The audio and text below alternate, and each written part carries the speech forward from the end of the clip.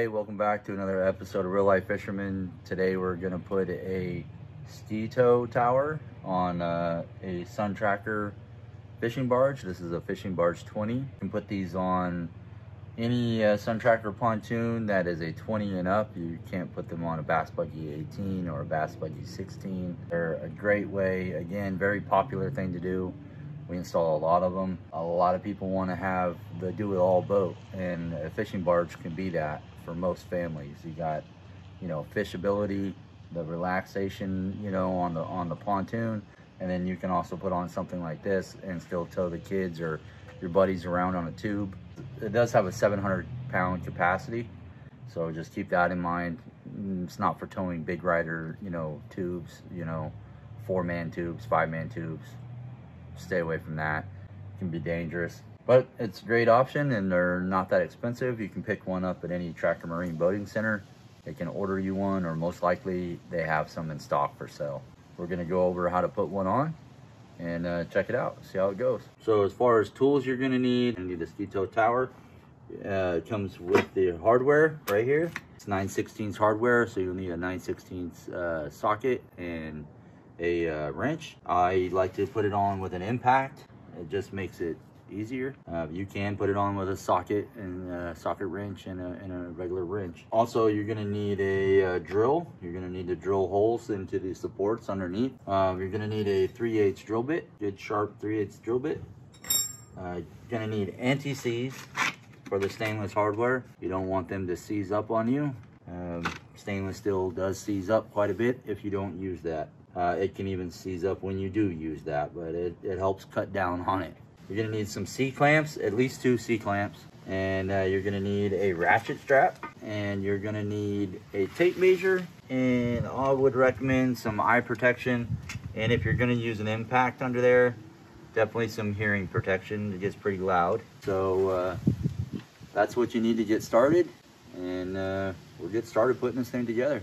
The angled ends are the back, the rear. Okay, same with the uh, with the tower itself. The angled end right here is to the rear. And you'll want those angles to meet up when you put it together. So there's three bolts on each side. Go ahead and put those together. Okay guys, so uh, little update here. Um, these, this is a new design uh, from what we used to use, this new tubular design. Uh, so what ended up happening the foot with this angle cut, they put on backwards. It doesn't really make a difference, but I just lined up the angle on, on the brace and the angle on the foot. Um, and then I went back to my shop and I ended up looking at the directions, which they don't come with every kit, doesn't get directions. And uh, so uh, make sure you got them or thankfully you're watching this video. But uh, make sure that the brace, this rear brace goes to the rear. Uh, their older design didn't have a tubular design here. It had a flat stock piece of aluminum and it went the other way. So uh, this is how they want it now. So we came back here and flipped it around for them. Also, they don't include in the kit, but you want to get this warning label because this thing only has a 700 pound capacity. That's riders, waterlogged tube, and everything. So uh, if you go more than 700 pounds or you get a tube that goes underwater with a bunch of people on it, you're gonna taco this thing right up front, right up top here rather. It'll just bend right there and it won't matter what way the uh, tubes are facing. So I'm gonna have a picture of one that's bent that just came back into the shop. So don't do that. Make sure that you get this sticker from them. And uh, if yours didn't come with directions like ours don't and a lot of don't, um, I actually had to go on the computer and get directions from the factory. Um, the, the brace goes to the rear. So as long as you do that, you'll be good to go. Put your sticker on, don't tow more than 700 pounds. You'll be good to go.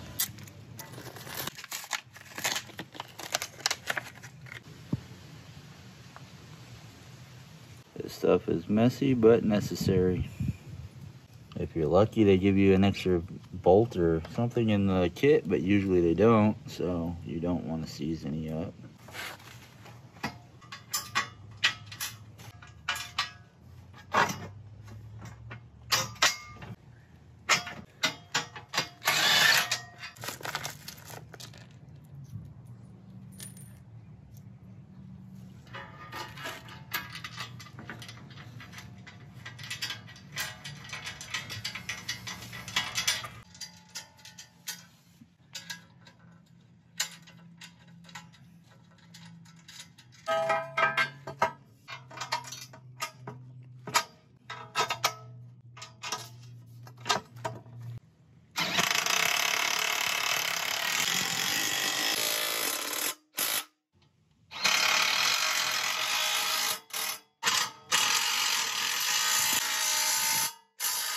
Want to take the ratchet strap and you're gonna go across the uh, motor pod here behind the fuel neck and you're gonna connect each hook to the uh, tie down strap.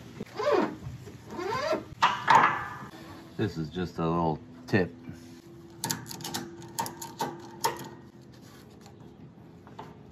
So what we're gonna do, and I'm gonna have to ask the camera guy to put the camera down here in a second. But what we're gonna do is we're gonna lift this up and we're gonna put these right underneath here like that. And it's gonna allow us to set this on here and center it up and clamp it down before we start drilling. And then you'll, you'll tighten these up. So uh, we're gonna go ahead and do that now and you'll see how it looks when we're done here. Just one second. Okay, go ahead and push it in. Keep going, keep going, keep going, right about there. So now I'm gonna ratchet this up. Okay, if you just hold that right there, um, I'm gonna I'm gonna climb in with my C clamps, and we were gonna we're gonna clamp it.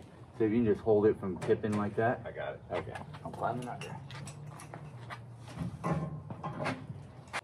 Okay, come in just a little bit.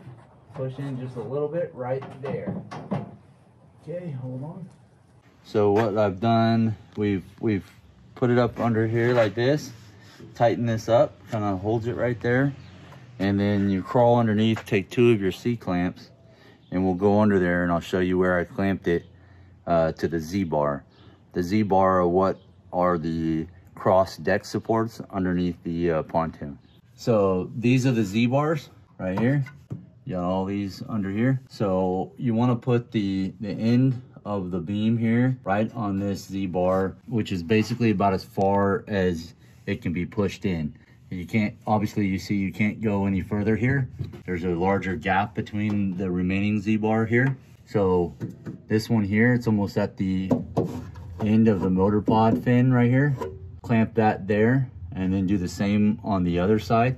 And then we're gonna go back out and center it up and make sure the tower is centered over the engine and then we're gonna final clamp it and drill our holes. Okay, so there's one other point I wanna make.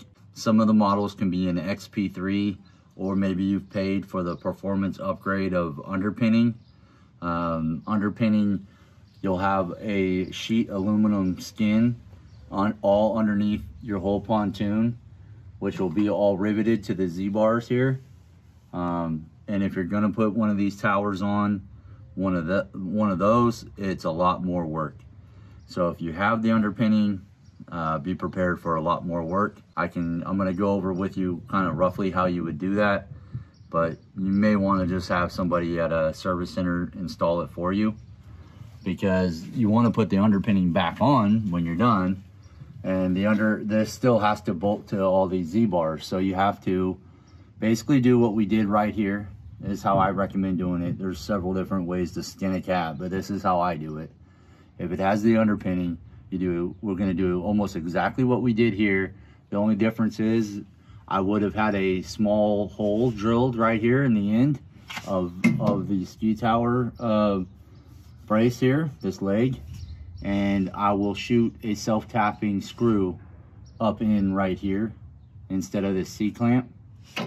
And then I center it up and I come in here with my marker and I mark out on the underpinning where this lands on that on there and then I take the underpinning or take this out take the screw back out take this whole ski tower back out and then remove the rivets pull the underpinning down label it as you do it and you have to take it out and use a jigsaw on a uh, workbench and cut the uh, cut this out so that you can put the underpinning back in and rivet it back up around the ski tower once you're done. And that's the cleanest way and most efficient way I found to do it if you do have a pontoon with underpinning. So if that sounds something like you want to mess with, that's how I do it. And uh, good luck to you. It does make the project take quite a bit longer. So if you have any questions about that, let me know and I'll uh, I'll get back to you on it. But we're gonna continue on with this one. These are much easier to do. Uh, thank God this is what he has because I don't like doing those ones. So kind of another good point to mention, it really sucks sometimes having uh, a borderline OCD like I have, I guess you want to call it that. Um, not everything is straight, true, plumb, anything on a boat. So just because it's perfectly distance from here to here and there to there doesn't mean that it's perfectly centered over your motor. People at the factory are not perfect. Uh, people that engineer these things and build them are not perfect. So you can be off one way or another. So most importantly is you want the ski tow, the actual connection where you're gonna tow your rope from. You want that as centered over your engine as possible. Now that may or may not be perfectly centered between here and here, but we're gonna measure there to get a rough estimate and get it close. Uh, usually pretty close, within a quarter inch, eighth of an inch or so. But again, when you got OCD, that's, you know, not enough. Perfect is perfect, so. But that's the most important part, I wanna mention that, is that this is centered over your engine.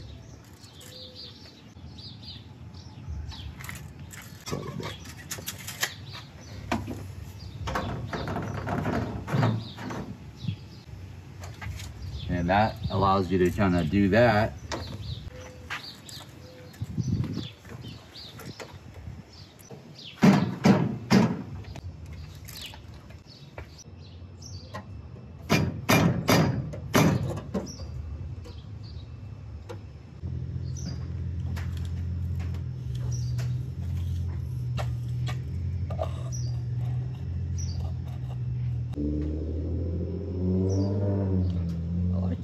All so now that we got it centered up, or what we're gonna do is we're gonna take our second set of C-clamps.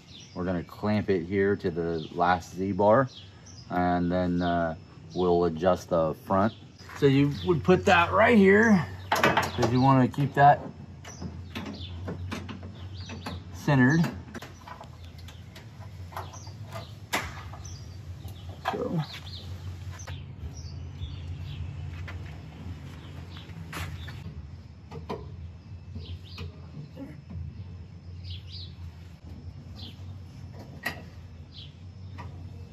Okay, now that you've checked that, just when you come back out, of course, measure twice, do it again, just make sure that nothing moved.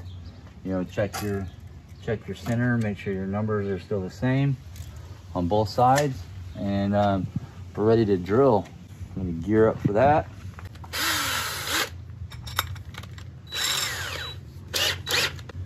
definitely make sure you wear your safety glasses. A lot of aluminum is gonna start flying under there. And like I say, I'm using that impact, so it does get kind of loud under there. I'll, I'll protect my hearing, thank you. Don't forget to anti-seize all these bolts before you get started. It's easier just to do them all at the same time. Set them out where you're gonna need them. Okay, so you got four bolts on each side. So you're gonna put one bolt here, one bolt here, skip this one, and then do one bolt here, and one bolt on the very back Z-bar. That's all I install it. Again, there's not any instructions, but that's how I install them. There's only four bolts per side. So one, two, skip one, one, two. Kind of want to eyeball up center of the uh, ski tow brace, center of the Z-bar, and drill your hole.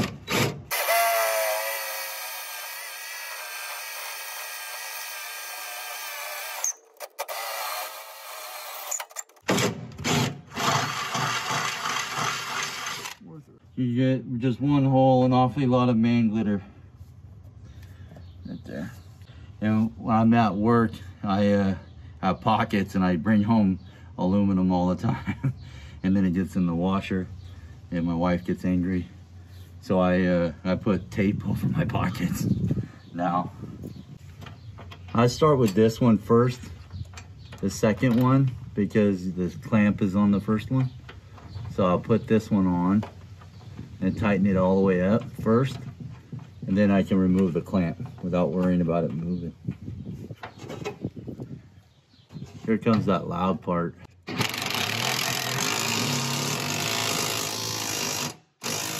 Now I'm gonna jump to the other side and I'm gonna do the same thing.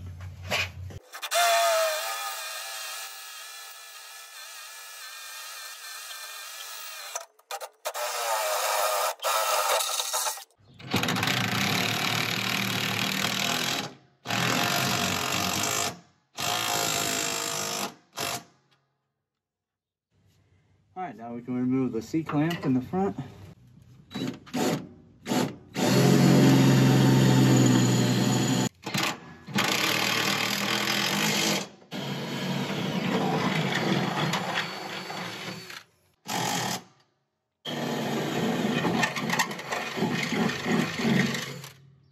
Nothing like a little aluminum up the nostril.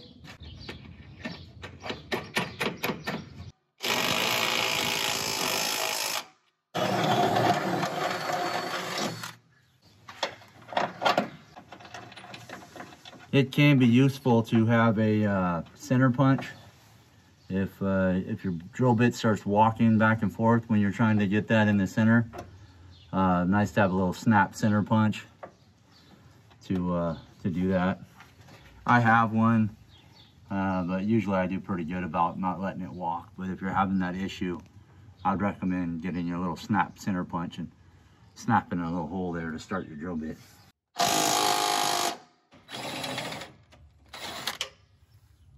You do have to push pretty hard to uh, to drill up like that, so it can be a little bit of a workout.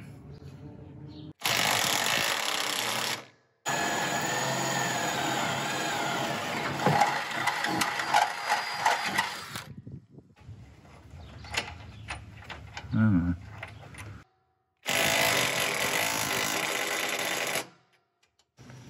All right.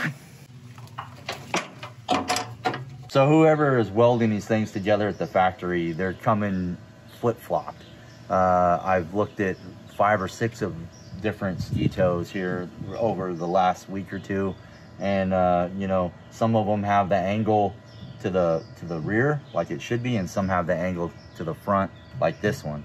Um, so just make sure that the more important part is the way that this is facing, not the way the foot is on here. Who's ever welded them at the factory just must weld them on however he feels like that day. Uh, so that's how you want to do it though. All right, well, thanks for watching the video. Uh, if this helped you, I hope you hit the like button and subscribe if you haven't already subscribed. And uh, thanks for checking it out, and I'll see you guys on the next one.